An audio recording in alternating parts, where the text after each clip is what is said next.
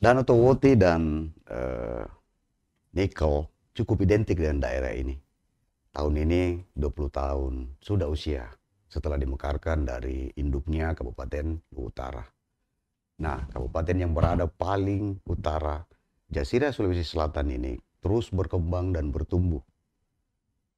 Ini adalah kabupaten eh, muda di Sulawesi Selatan, tetapi sangat maju pesat di bawah pemerintahan Bupati Randes Haji Budiman MPD. Nah, sahabat Turan Suruya kali ini kak, eh, kami kedatangan tamu Kadis Kominfo Kabupaten Lu Timur, Bapak Dr. Andes Haji Ambris Darwis. Ya, terima kasih Pak. Yang kedua kalinya kita hadir di redaksi Koran Seruya. Ya, sama-sama. Ya, Alhamdulillah. Assalamualaikum. Ya. Selamat malam. Ya. Para pembaca Koran Seruya di mana saja berada. Eh, Alhamdulillah eh, dan terima kasih buat Koran Seruya kami di bisa kembali bersama di podcastnya ini uh, untuk menyampaikan kabar baik, kabar berita-berita baik dari Kabupaten Luti. Yeah. Ada yang menarik Pak. Uh, saya panggil Kanda saja biar lebih apa? Saya kan panggil nenek kan Ini Atau Pak Kadis. Jangan, jangan. Siap. Ya. Kan ada ada dua hal menarik uh, Kabupaten Lu Timur di tahun 2023 ini. Ya. Yang pertama bahwa tahun ini Kabupaten Lu Timur kena berusia 20 tahun. Di sisi yang lain, eh, kepemimpinan Bupati sekarang, Bapak Budiman ini, dua tahun. Nah, kita akan ulas banyak ini. Nah, khusus untuk uh, dua ta 20 tahun usia Kabupaten Lu Timur ini, apa yang menurut kita yang apa uh, tentu kan di setiap kegiatan perayaan ulang tahun sebuah kabupaten kan tentu pemerintah daerah di sana mempersiapkan berbagai hal. Apalagi kan sudah bukan masa pandemi ya. COVID-19. Bisa kita bocor-bocorkan sedikit persiapan pemerintah dalam rangka menyambut uh, memeriahkan 20 tahun Kabupaten Lu Timur. Ya, uh, terima kasih. Jadi Lu Timur yang kita tahu bahwa dimekarkan kemarin dari Lu Utara. Iya. di tahun 2023 jadi tidak terasa umurnya sudah 20 tahun di tahun 2023 ini di bulan Mei. Mei. Uh, 3 Mei. 3, 3 Mei. 3 Mei. 3 Mei dan di usia yang kalau kita manusia dia sudah mau menjelang uh, remaja yeah. tetapi usia di kabupaten di Tanah Luwu mm -hmm. dia anak bungsu adik bungsu yang masih sangat muda apalagi di Sulawesi Selatan. Mm -hmm. nah, kemarin Luwu Timur itu dimekarkan dengan e, bersamaan dengan Mambu Utara. Jadi sama-sama kita dimekarkan dan sejak itu dimekarkan sudah mulai ada tiga empat lima bupatinya termasuk yeah. beberapa caretaker yang pada saat e, proses pilkada. Nah khusus untuk tahun 2000 yang kepemimpinan sekarang ini Pak Budiman, uh, Pak Budiman selama masa kepemimpinan beliau jadi bupati, beliau menjadi single fighter. Single fighter, distilakan jomblo. Ya, bupati jomblo. Ya, bupati yang jomblo. Ya, dua, sudah dua tahun hmm. beliau jadi jomblo. Dan selama periode dua tahun itu, eh, menurut saya dan berdasarkan data itu terjadi loncatan-loncatan dan alhamdulillah prestasi-prestasi menurut yeah. saya eh, sangat membanggakan buat pembangunan daerah yang mengusung visi berkelanjutan berbasis agama dan budaya. Yeah. Nah, sebagai salah contoh saya masuk ke situ dulu sebelum kita mm -hmm. cerita ulang tahun.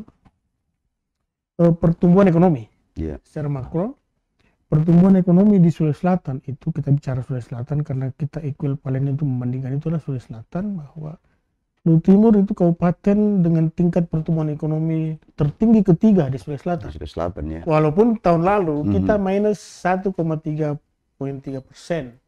Tetapi di tahun 2022, 2000, masuk 2023 kita bangkit dan akhirnya kita bisa menjadi kabupaten eh, nomor tiga loncatan pertumbuhan ekonominya di Sulawesi iya. Selatan dengan pertumbuhan 1,90 sekian. Artinya dengan berbagai kemajuan ini, syarat prestasi dua tahun Pak Budiman sendiri, ya. uh, jomblo ini tidak ngefek atau ya, bagaimana? Iya, kalau saya melihat ya kan ini amanah undang-undang. Iya, amanah undang-undang. Uh, uh, pemerintah daerah yang, melaksanakan pemerintahan harus berpaket ada yeah. bupati ada wakil bupati whatever seperti apa itu tapi selama beliau menjalankan roda pemerintahan dua tahun ini mm -hmm. uh, menurut saya contohnya satu uh, tahun 2021 kemarin, Luhut Timur tidak masuk dalam kabupaten yang inovatif. Iya. Enggak. Sekarang ini tahun 2003, hmm. Luhut Timur masuk di antara 100 sekian daerah kabupaten di Indonesia menjadi kabupaten hmm. yang inovatif. Uh, kemudian uh, kita punya IPM. Yeah. IPM ini dari tahun ke tahun mengalami pertumbuhan yang signifikan dan uh, di tahun ini uh, loncatannya lumayan bagus, signifikan sekali loncatannya sehingga IPM tertinggi di Sulawesi Selatan tingkat kabupaten itu Timur. Indikatornya kan tiga. Hmm. Eh, apa namanya? Eh, tingkat daya beli masyarakat, kemudian nama sekolah, yeah. atau apa namanya, kemudian eh, usia. Hmm. Nah, kadang-kadang Pak Bupati bicara begini, kalau ibu mau umur panjang silahkan pindah ke Luhut Timur. Yeah. Ini ya, ini kan eh, apa yang kita gambarkan ini bahwa ada kemajuan signifikan, hmm. ada kemajuan yang begitu uh, apa ini melonjak dibandingkan tahun-tahun ini sebelumnya. Nah ini kan dua tahun Pak Budiman ini, apa kira-kira yang menurut tak sebagai uh, Kadis Kominfo sebagai bawaannya uh, yang yang menjadikan ini uh, Timur programnya berjalan walaupun Pak Bupati ini sendiri. Ya apa rahasianya kalau menurut kita? Pertama beliau itu eh, percaya dia punya anak buah. Anak buah di. Jadi start, startingnya itu berjalan hmm. dengan bagus. Dikasih kepercayaan hmm. penuh semua kepala PD, lakukan tugas dan fungsinya dengan baik, sehingga teman-teman tidak merasa tertekan. Yeah. Dia dia lakukan dengan baik semua fungsi-fungsinya dan itu sangat eh, hasilnya luar biasa. Hmm. Kayak tahun lalu 2022 kan eh, kalau sesuai catatan koran seru ya, itu kadang Pak, Bu, Pak Budiman uh, memboyong kadis-kadisnya uh, ke desa-desa, bah, bahkan nginap. Oh ya, ya. Nah ini Ingat mungkin salah satu ya, itu, ya, ya. mungkin ini salah satu uh, apa kepemimpinan beliau yang uh, patut dicontoh dan menjadikan program itu berjalan sehingga ya. apa yang kita itu berjalan. Ya. Atau apa gadis? Uh, di awal pemerintahan beliau hmm. memang uh, dia mau semua kita yang hmm. bekerja di samping kiri kanan Pak Bupati itu harus tahu persis uh, kondisi yang ada di yeah. tingkat desa dan kecamatan. Sehingga pada saat awal kita disuruh memang memahami itu. Karena saya yakin masih banyak kita orang yang kerja di Lu Timur itu mungkin ada beberapa desa yang belum pernah kita injak. Iya, lu, lu tim ini lu, luas. Iya, luas banget, luas mm -hmm. sekali, luas sekali. Malu ada ya begini. Mm -hmm. Sehingga eh, pertama beliau itu menginginkan bahwa ayo kita ke desa, lihat yeah. apa yang terjadi di sana. Eh, kemudian eh, bukan menampung aspirasi pak, yeah. tindak lanjuti masalah yang ada di sana. Begitu ada persoalan Begitu langsung. ada persoalan langsung dieksekusi pak seperti itu anunya. Ya, terkait dengan PU, terkait yeah. dengan misalnya persoalan pemukiman, terkait dengan persoalan telekomunikasi hmm. itu langsung kita langsung dieksekusi di tempat. dan ah. kalau misalnya tidak sempat dieksekusi pada saat itu, kita carikan langsung solusinya seperti yeah. apa. Nah, itu berlanjut terus eh, dari peta pertama seperti itu, akhirnya teman-teman kepala PD memahami itu bahwa hmm. harus kita kerja sesuai dengan apa yang masyarakat uh, inginkan, kebutuhannya apa. Yeah. Itu yang kita fokus ke situ. Jadi tidak ada lagi orang bikin program kegiatan proyek yang berbasis kepentingan proyek. Ya. Tidak ada. Artinya tidak ada gerakan tambahan. Nah, jangan coba-coba. jangan coba-coba ya, bikin gerakan itu. tambahan. Karena jelas sekali uh, bahwa kita ada target ya. berdasarkan visi misi pemerintah daerah hmm. Yang diemban oleh Pak Bupati sekarang dan itu harus kita sukseskan dan amankan itu. Ya. Nah sebagai kadis-kadis Kominfo ini uh, saya mau tanya sedikit. Uh, bagaimana kita melihat sebenarnya kepemimpinan Pak Budiman dua tahun ini humanis kalau kalau kita lihat kan eh, beliau ini sangat humanis hmm. eh, tidak pernah menolak orang berjabat tangan ketika misalnya dia berjalan seperti itu siapa pun dia jabat tangan misalnya seperti itu turun hmm. ke masyarakat apa Nah, kita sebagai ya corong jubirnya tanda putih ini, bagaimana kita melihat Pak Budiman ini sosok Bupati Lu Timur? Ya, pertama dia manusia biasa, yeah. sangat sederhana orangnya. Beliau dari kebetulan dari kalangan seperti saya hmm. juga, orang tuanya kami kenal baik dua-dua. Eh, bersahaja orangnya, hmm. tapi jangan ragukan kecerdasannya. Yeah kecerdasan beliau luar biasa kemudian uh, yang menurut saya yang paling uh, apa dia penuh dengan inspirasi hmm. setiap hari setiap menit dia berpikir untuk melahirkan inspirasi-inspirasi baru sehingga lahirlah tagline kota itu yeah. Lu Timur Inspiring karena detik by detik itu memang melahirkan inspirasi-inspirasi baru. Beliau selalu menanyakan apa lagi apa lagi apa lagi kira-kira apa yang mesti kerjakan? Inovasi apa lagi yang mesti kau pikirkan? Yeah. dan uh, sehingga inovasi itu tidak lagi menjadi sebuah hal yang nanti pada saat ada lomba kita berpikir tapi setiap hari kita lakukan berpikir yeah. untuk bagaimana memudahkan kita bekerja bagaimana memudahkan melayani masyarakat. Karena apa? Pimpinan kita penuh inspirasi. Yeah. Nah ini kan uh, tentu dua tahun Pak Budiman ini memimpin Lu Timur ya kita uraikan tadi berbagai prestasi, berbagai kemajuan baik di sektor perekonomian, IPM yang meningkat dan uh, tentu dalam dua tahun itu syarat penghargaan. Nah ini kan memasuki tahun 2023, apalagi tahun ini kan uh, Pak Budiman ini tidak lagi jomblo, sudah ada pendamping. Nah program-program apa sebenarnya yang menjadi prioritas beliau selain program yang sudah berjalan? Eh, yang beliau selalu dengungkan itu yang pertama adalah uh, bagaimana stadion kita bisa selesai yeah. dan itu proses dan kemungkinan di pertengahan tahun ini udah bisa ditem di, kita bisa jogging di situ. Oh seperti itu stadionnya Stadion, stadion Malili. Stadion Malili. Walaupun tribunnya akan menyusul di bangun yeah. kemudian, tetapi untuk bermain bola di situ, hmm. untuk memanfaatkan jogging track insya Allah di pertengahan tahun itu sudah bisa kita pakai. Artinya di Luraya ini dari empat kabupaten baru dua kabupaten yang punya stadion. Palopo dengan Lu ya, Timur. Ya, insya Allah itu akan menyamai uh, home base-nya MU di Inggris itu. Oh iya, mantap.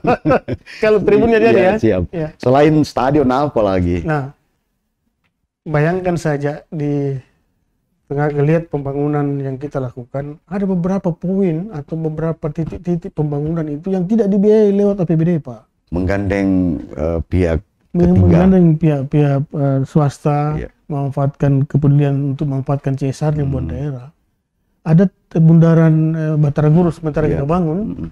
itu nilai kontraknya sekarang ini sekitar 15 miliar dan itu tahap pertama dan eh, itu dikerjakan dan dibiayai langsung oleh PT Vale yeah. melalui dana CSR. Hmm. Kemudian ada lagi satu pusat olahraga di tengah perkantoran itu dibangun uh, eh, PT CLM salah satu perusahaan tambang terbesar yeah. di, di Lu Timur dan uh, bekerja sama dengan beberapa kontraktor kecil. Kemudian uh, cesarnya Bang Sulsel menata lapangan yeah. Soekarno Hatta dan uh, apa namanya cesar uh, apa namanya beberapa teman-teman uh, kontraktor-kontraktor besar yang ada itu membangun uh, skateboard park. Jadi yeah. ada tempat anak-anak untuk bermain skateboard, tidak lagi bermain di apa namanya di trotoar yang memungkinkan dia terluka dan uh, fasilitas aset kita bisa rusak. Ya. Ada yang berpendapat seperti ini Pak Kadis bahwa siapa pun bupati di Luhut Timur pasti berhasil. Kenapa? Karena di, disokong oleh PT Vale dan berbagai perusahaan-perusahaan eh, tambang yang lainnya. Ya. Kalau menurut kita sependapat enggak asumsi seperti itu? Depian man behind the gun. Tergantung siapa yang pegang senjatanya, Pak. Oh, seperti itu. Iya. Jangan sampai salah tembak. Iya, jangan sampai salah sasaran bareng-bareng. ya, jadi kita jadi tidak, di ya. kepala kena kaci-kaci, Pak. Berarti kita tidak sependapat Saya itu. tidak sependapat. Ya. Tidak selamanya uang adalah segalanya, tidak ya. tidak selamanya, Pak. Hmm. Walaupun memang kita berterima kasih karena sudah dikaruniai Allah dengan karunia ya. Tuhan luar biasa dengan potensi luar biasa di Timur. Tetapi kalau dia salah manajemen akan salah akan salah sasaran semua ya. apa yang kita lakukan. Contohnya, Pak kita punya APBD kalau kita banding-bandingkan dari tahun ke tahun sebelum Pak Bupati masukkan jadi Bupati nilai APBD kita di angka 1,4 triliun tapi setelah beliau hmm. masuk itu sudah mencapai hampir 1,8 triliun Pak berarti kita melihat APBD empat daerah di lurah ini terbesar nah, di bawah. Nah, kalau 1,8 hmm. triliun itu eh, cara keberpihakan, yeah. cara berpikir untuk kita berpihak kepada masyarakat, tidak akan terasa apa yang kita lakukan. Yeah. Apa yang dilakukan Pak Budi dengan uang hmm. yang dana sebesar itu? Ada sekitar 124 sekian miliar itu dia alurkan langsung ke desa dengan namanya bantuan satu desa. Ya, ya satu desa satu miliar itu hmm. bantuan ekonomi khusus buat desa. Nah di desa itu kalau menurut beliau kalau desa itu sudah berkembang otomatis juga akan pengaruhnya yeah. itu resonansinya akan berpengaruh ke kota kecamatan dan yeah. kota kabupaten. Kan ada satu momen kita yang kemarin berberakan Pak Budiman itu uh, boleh kita bilang berani, sangat berani itu uh, memberikan 11 11 permintaan ke PT Vale yang muaranya tentu untuk kemajuan dan ke kemajuan Lu Timur dan kesejahteraan masyarakat setempat. Yeah, yeah. Dan ini ini mungkin yang bagaimana kita melihat bahwa Pak, Pak Bupati ini sebagai uh, manajer di Kabupaten Lu Timur itu mampu merangkul, dia memaksimalkan bilang, atau bagaimana menurut dia selalu bilang begini, buat apa kita mau apa namanya mau bersuara keras ke iya. teman-teman yeah. pengusaha baik lokal maupun nasional maupun nasional. Kalau kalau kita bicara baik-baik, insya Allah mereka enggak.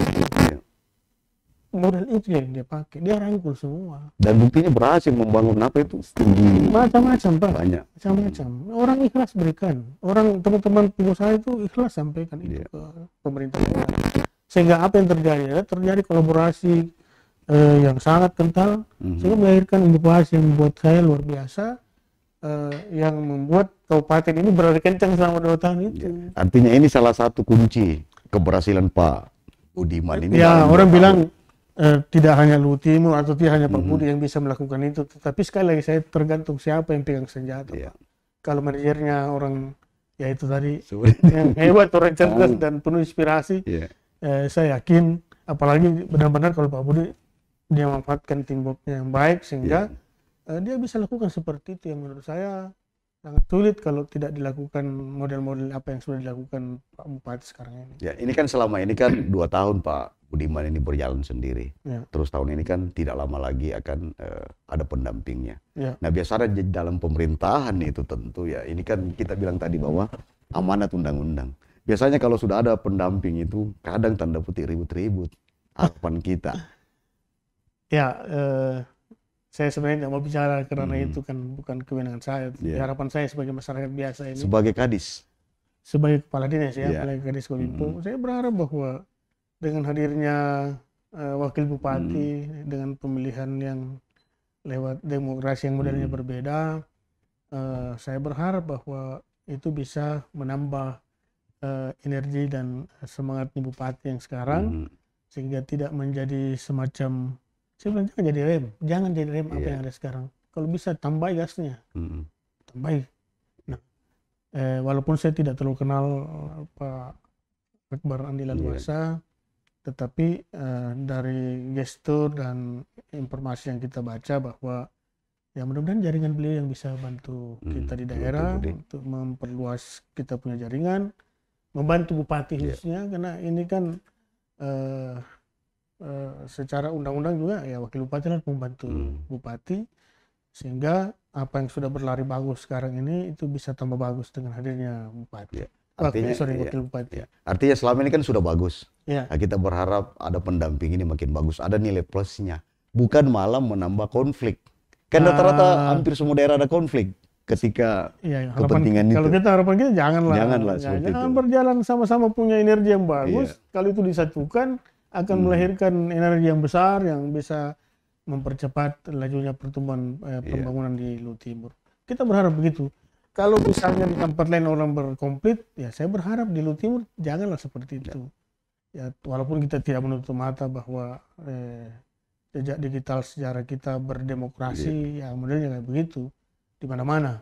Hmm. Orang di mana di seluruh Indonesia malah ada yang menguruskan diri wakil bupati karena tidak tahan, yeah, tidak dapat pekerjaan, ya toh?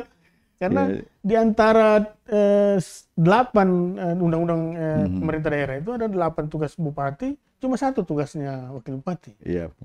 Membantu, membantu bupati. bupati ah, seperti itu. Seperti eh, ke, sepanjang bupati berikan kewenangan untuk iya. melakukan tugas itu. Kalau Tetap, tidak dikasih, nganggur. Iya, mesti itu undang-undang bicara. Iya, undang-undang. Tapi kalau saya, saya yakin pemerintahnya akan iya. dinamis dan harmonis dan sampai pada yeah. masa apa periode pemerintahannya mereka akan melahirkan sebuah momentum sejarah yang bagus buat yeah.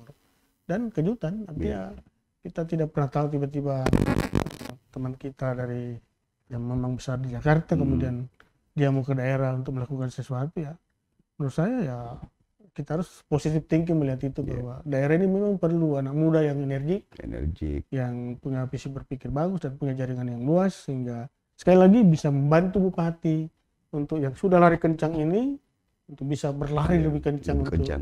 Artinya apa yang kita sampaikan Pak Kadis Duet, eh, Budiman, Akbar ini tentu menjadi harapan masyarakat Lu Timur juga bisa lebih bagus ini Kabupaten ya. Lu Timur bersinergi eh, sama dengan tadi apa Lu Tim Inspiring. Luting Inspiring ya. itu menurut saya sebuah tagline kota yang uh, kalau saya harus terus digaungkan hmm. itu kita tiap hari melahirkan inspirasi inspirasi baru yang bisa mempercepat dan membantu pimpinan kita untuk bisa lebih apa namanya ya karena beliau waktu ini sendiri jadi yeah. kepala dinas harus berpikir memang ekstra keras untuk membantu beliau untuk mencapai visi-visi beliau dalam melakukan pemerintahan ini. Yeah.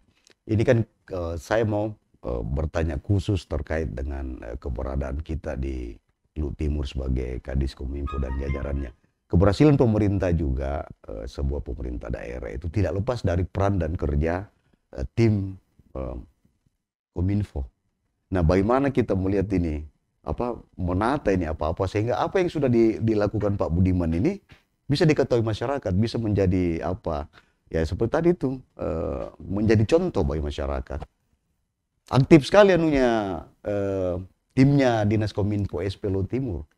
Ya, yang bisa menilai itu kan hmm. orang lain. Kami yeah. cuma lakukan tupoksi kami sesuai dengan apa yang mesti kita lakukan. Yeah. Karena saya tidak berhenti sampaikan ke teman, kalau kita mau diapresiasi orang itu terima kasih banyak.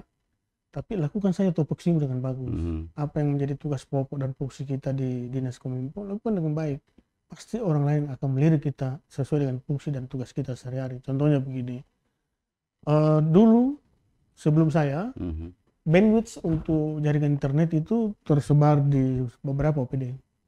Setelah saya masuk, satukan semua bandwidth yeah. itu menjadi tugas fungsi dan pokoknya Kominfo mm-hmm. dan bandwidth itu kami satukan di situ. Kemudian yang lain misalnya buatan aplikasi untuk inovasi di untuk pelayanan-pelayanan. Sekarang orang mau uh, mau buat aplikasi yang berbasis digital itu semua untuk uh, rekomendasi dari Kominfo ada yang salah kaprah ini Pak Gadis bahwa Kominfo ini sebatas membuat rilis. Oh. Nah, seperti itu tuh ada kesan seperti itu. Tidak. Nah, bagaimana uh, kan kita melihat bahwa begitu inovatifnya uh, tim Dinas Kominfo SPLU tim malah dia bikin apa seperti apa uh, udah bermain pada media-media digital juga. Iya. Iya eh, memang kelihatannya kalau dia lihat sisi yang itu ya hubungan fungsi-fungsi kehumasan hmm. yang melekat di bidang eh, IKP itu ya, seakan-akan fungsinya semua itu padahal ada yang lebih agak lebih besar. Ya. Sistem ya? pemerintahan berbasis hmm. elektronik itu ada di situ basisnya. Bisa kita uraikan nah, lebih. Contohnya lebih di dinas itu dinas kominfo SP itu ada empat bidang. -hmm. Yang pertama ada bidang IKP, eh, dan kehumasan yang kepala bidangnya Ibu Hayati, hmm. kemudian ada bidang telekomunikasi dan informasi itu ada Pak Arif di situ. Ini tugasnya eh, bagaimana sehingga koneksitas ke semua wilayah dalam wilayah Luwu yeah. Timur ini bisa bisa teratasi. Apa yang terjadi sekarang? Eh, daerah black blank spot spot yang ada di Luwu Timur itu tinggal satu desa Pak yang dari berapa sebelum dari 125 desa yeah. tinggal satu desa yang tidak terberdiri tower-tower hmm. untuk membantu jaringan internet. Kemudian di situ juga yang menjamin ketersediaannya jaringan internet yeah. buat semua instansi.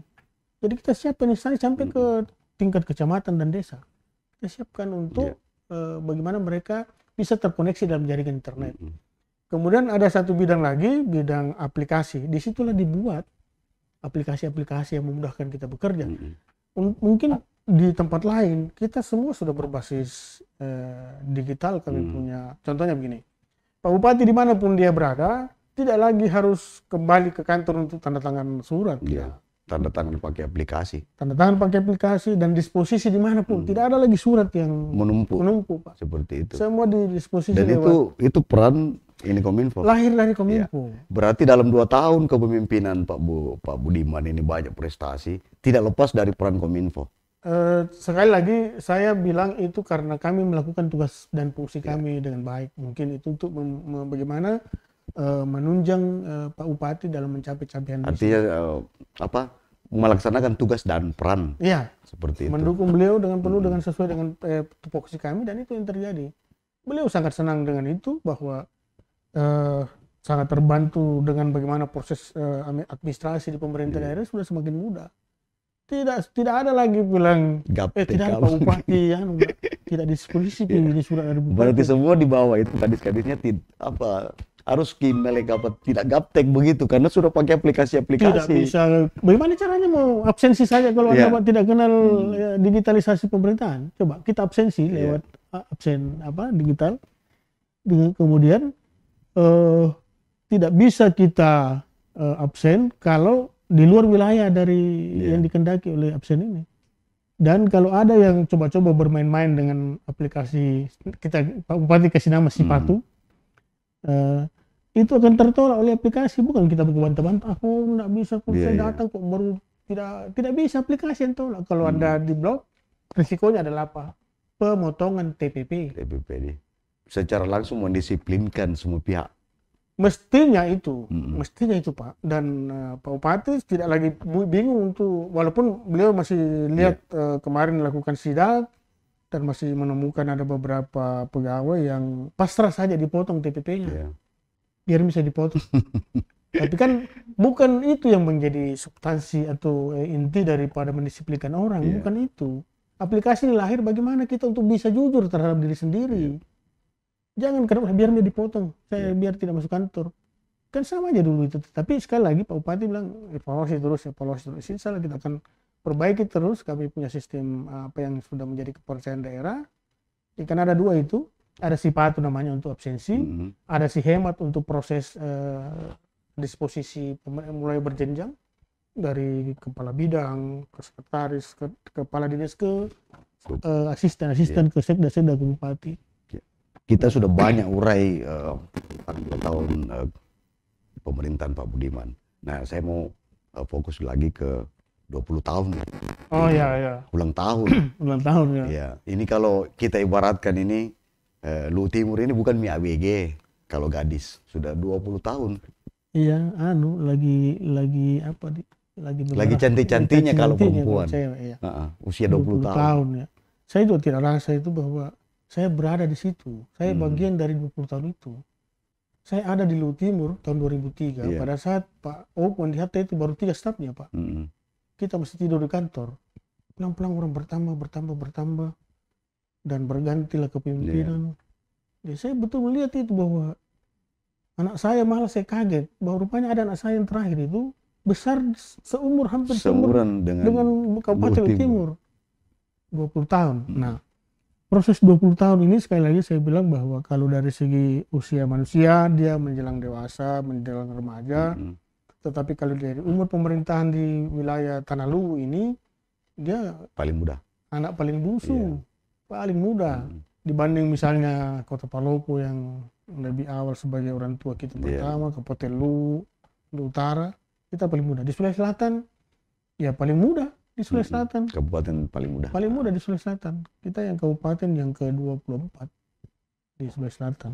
Nah, 20 tahun ini Pak Bupati ingin bahwa Uh, dia tidak mau perayaan itu menjadi miliknya birokrasi birokrat saja. Masyarakat harus merasakan. Uh, dia tidak mau Pak bilang hmm, harus dipusatkan di Kota Malili saja, tidak nah. mau dia. Sehingga dilakukanlah kegiatan itu tersebar di semua, semua kecamatan. kecamatan di bahkan ke desa-desa. Ke desa-desa. Hmm. Jadi dia eh, bilang jangan sampai kegiatan perayaan ini menjadi perayaannya pejabat saja, ya. perayaannya siapa. Bisa nyanyi lomba menyanyi ya, kepala dinas, ya, ya. istri, Tidak lah. Dinas. Jadi dia bilang sebar itu, hmm. contohnya misalnya kita ada tiga kecamatan di sana yang mayoritas uh, orang uh, apa saudara kita yang beragama yeah. Hindu. Dilombakan dilakukanlah event di sana namanya Festival Ogo-Ogo. Ogo-ogo di. Yang biasa cuma orang lihat di Bali. Nah, kalau mau lihat daya tarik itu di sana bisa kita lihat yeah. pada saat ulang tahun Luwu Timur. Kemudian ada festival eh, Rahampu Matano dilakukan di yang salah satu desa hmm. yang mendapat pen, apa penilaian penghargaan AKPI apresiasi desa wisata kemarin. Nah, di situ ada satu festival dibikin.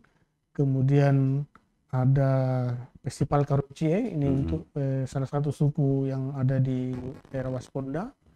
Uh, kemudian kita lakukan juga kebetulan ini bertepatan dengan bulan Ramadan. Yeah. Kita lakukan tablik akbar, kita lakukan safari Ramadan ke semua kecamatan. Kemudian uh, ada sarasihan desa, hmm. bayangkan itu semua menyangkut bagaimana sehingga mulai dari tingkat desa, kecamatan sampai ke kabupaten merasakan yeah. bahwa kita sedang berulang tahun di yang ke-20 dan sampai ke pelosok sampai ke pelosok dan puncaknya itu misalnya kita undang Surya untuk bisa yeah, nanti siap. kita sampaikan penitia untuk mengundang Surya untuk bisa hadir. Kalau bisa live di sana. Yeah, siap siap Pak Gadis. live kan kita punya acara uh, sama-sama kita sebarkan kebaikan hmm. yang dari Luwu Timur apa yang kita lakukan pada saat yeah. ulang tahun. Apa tema HUT Lutim yang ke-20 20 tahun Luwu Timur menginspirasi. Bisa kita uraikan? Oh ya, 20 tahun peduli menginspirasi. Apa bisa kita uraikan uh, makna dari tema ini? Uh, kemarin baru di launching tema ini. Mm -hmm. uh, ini tidak lepas dari pemikiran-pemikiran Bupati yeah. yang inspiring kemarin itu. Sehingga itulah menjadi turunannya uh, dijabarkan ke dalam kegiatan-kegiatan yang menurut beliau uh, kita harus lebih peduli dan melahirkan inspirasi-inspirasi baru. Itu sebenarnya eh, apa Makna filosofinya dari, di ya, filosofi. kenapa dijadikan eh, 20 tahun peduli menginspirasi. Sama dengan lahirnya pada tahun baru kalau kita ingat ada peduli ki saya jaga ki. Iya. Baku jaga. Ya.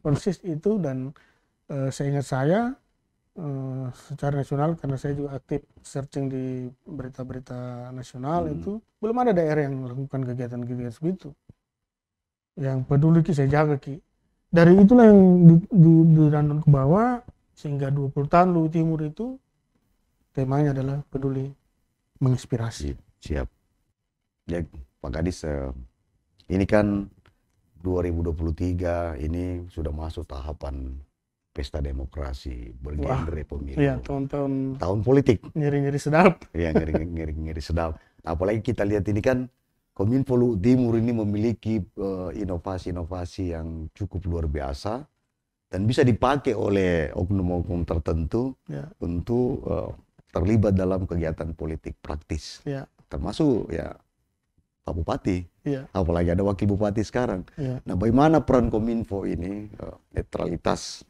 Kominfo? Ya, uh, kalau menyangkut persoalan uh, masuknya era atau fase tahapan demokrasi kita, saya selalu merujuk ke Undang-Undang Nomor 5 tahun 2014 ya. tentang PNS netral. Harus netral. Ya, tapi itu kan kadang uh, regulasi itu dilanggar. Eh, di di sisi atau di level abu-abu itu kadang-kala hmm. kita berada di situ. Hmm.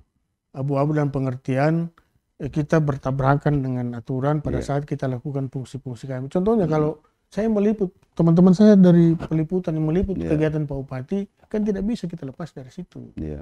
Tetapi sepanjang berita itu berita pemerintah kami tetap eksis di situ. Bukan berita kegiatan uh, politiknya. Uh, politik, enggak. Uh, beliau punya porsi sendiri untuk bicara tentang politik. Yang kedua, fokusnya kami itu Pak, banyak hmm. sekali yang, yang mau endorse di situ, masuk yang minta yeah. untuk jadi guest Pak Bupati sudah sampaikan ke kami bahwa lu bisa undang orang atau bisa apa eh, jadikan guest dia tapi jangan bicara politik. Ya, pemerintahan saja. Kita bicara murni pemerintahan hmm. di situ sehingga di situlah ranahnya kita memang kita tidak masuk ke sana. Sudah sudah di garis bawahi memang. Sudah. No politik. No politik. Nah kita sebagai kadis ini sudah kita instruksikan enggak ke Sudah dia. Saya bilang hati-hati bermain di ranah yeah. itu karena uh, kita bertabrakan dengan aturan. Mm -hmm aturan. Ya, sekali lagi pegawai negeri diatur oleh ketentuan perundang-undangan.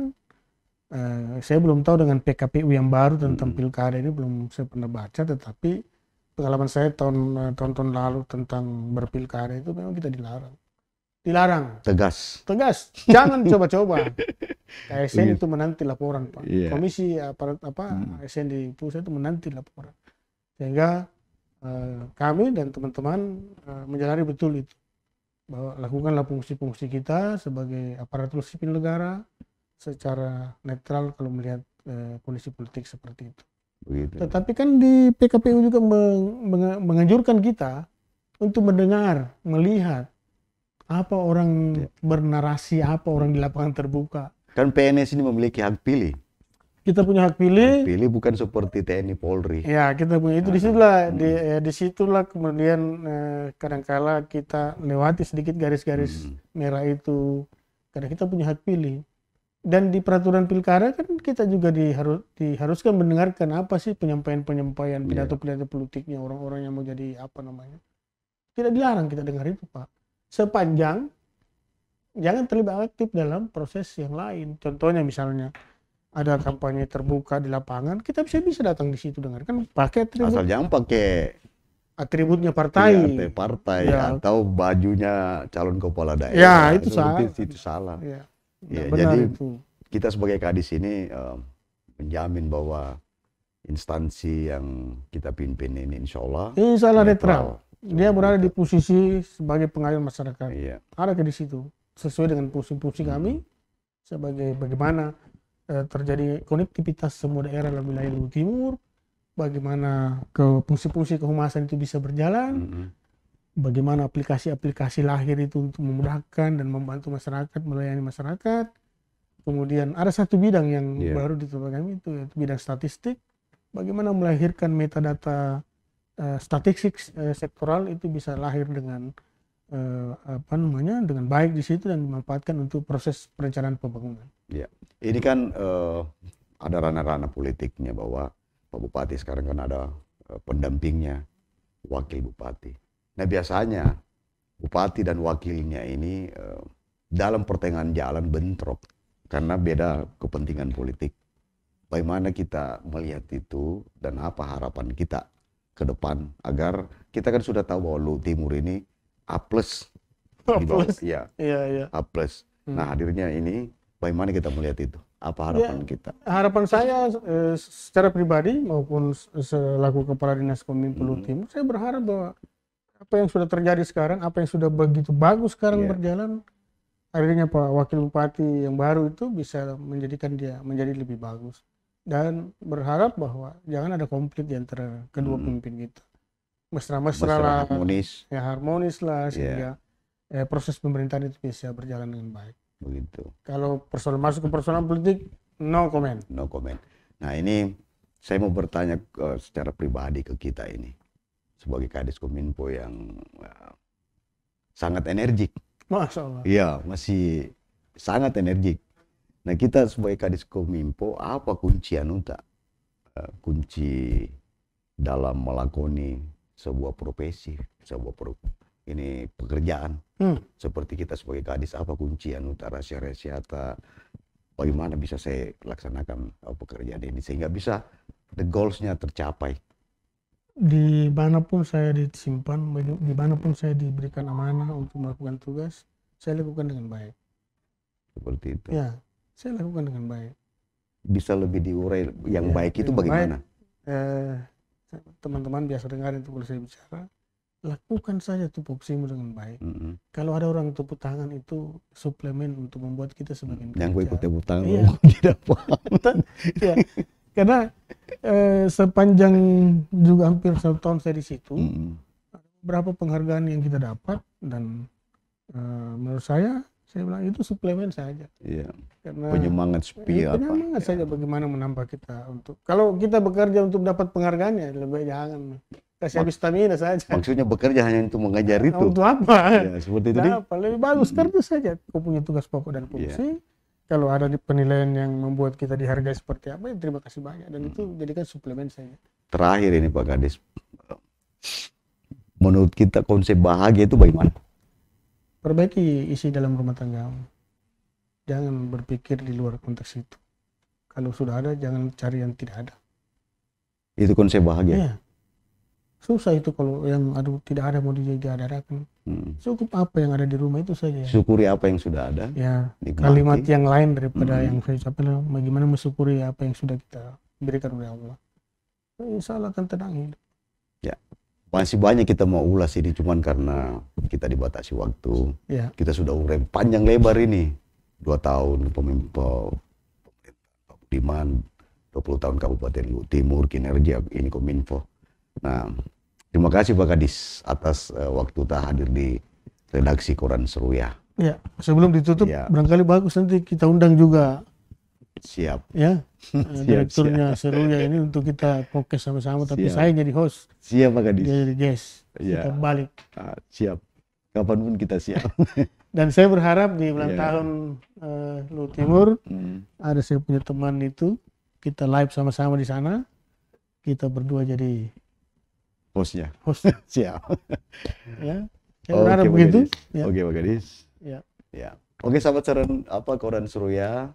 Demikian uh, bincang uh, kami bersama dengan Kadis Kominfo SP Lu Timur Bapak Dr. Andes Amdes Darwis. Kami pamit dengan ucapan Assalamualaikum warahmatullahi wabarakatuh. Waalaikumsalam warahmatullahi wabarakatuh.